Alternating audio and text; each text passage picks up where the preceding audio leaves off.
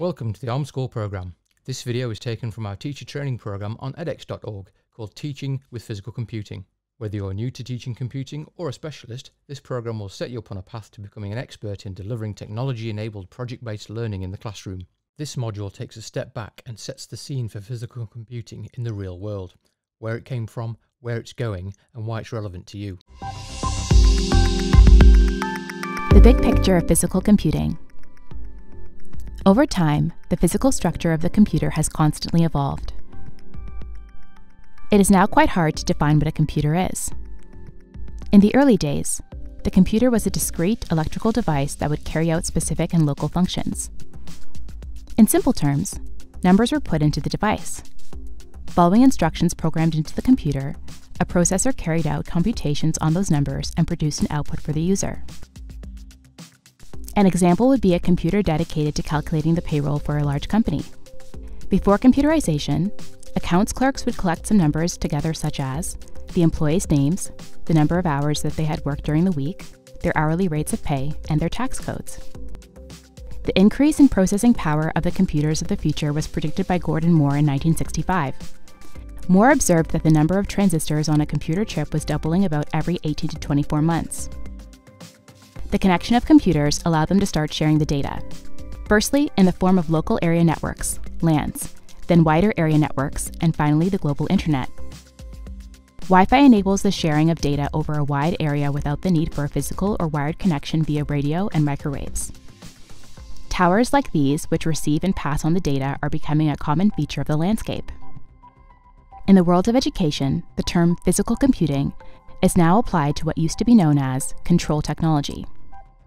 It specifically refers to technologies which make use of sensors for the collection of data from the environment outside the system, such as temperature measurement. Control systems based on this pattern are known as Input Process Output IPO systems. In the classroom project work, an IPO system can be something as simple as making an LED light up when a light sensor is covered. When teaching about physical computing, there is every opportunity to take a constructivist approach. Begin by setting the context. When explaining the project to learners, an exciting hook to engage and enthuse them will help to sustain their interest for the longer term of the project. In keeping with the constructivist approach, the learner should be given sufficient time to investigate and experiment with a range of input and output components, thus constructing knowledge of the hardware and programming skills out of their experiences. Once they have learned how to write programs which collect data from input devices and control a range of outputs such as LEDs and buzzers they will be ready to design and build their own systems. Successful project based learning hinges on a project idea which provides opportunities for creative problem solving. The project must set the learners problems which are sufficiently open ended for them to propose and test truly original ideas of their own. It is difficult to think of a school context that is better suited to this form of learning than physical computing. The interplay between designing and making physical objects, wiring and electrical circuits, and programming input output systems creates almost limitless possibilities within simple, practical, and definable parameters. Physical computing has the added advantage of its appeal to young learners growing up in an increasingly technological world. An enduring characteristic of young learners is that their ideas are rarely limited by mundane things like time frame, budget, and what is practically possible.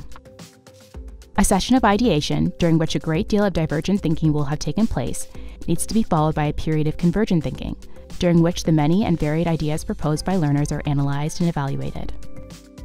This creative problem solving approach accords well with a commonly adopted method of problem solving in computer science, known as computational thinking. Computational thinking involves the processes of decomposition, logic, pattern recognition, abstraction, and algorithm design. Ideation allows the learners to break down or decompose the problem in order to gain a better understanding of it. Convergent thinking will enable the learners to recognize patterns, to simplify and adopt alternative solutions, and to begin to plan the steps that they wish to take to provide their unique and creative solutions to the problem. The breakdown of Moore's Law and the introduction of quantum computing will place unimaginable processing power at the disposal of the school children of today. So, the rationale for teaching about physical computing is clear to enable computing systems of the future to solve problems for us, they need to understand our environment and to bring about changes in it. People will continue to play a role in the design, manufacture, and maintenance of the interfaces between the environment and the computing systems. Society will need people with knowledge and skills to perform these tasks, and the younger they begin to learn about physical computing, the more capable they will be. Future employment opportunities are a matter of fervent speculation. A career in the field of physical computing is likely to be as safe a choice as any. To learn more, head over to edX.org and search for project based learning and enrol for free.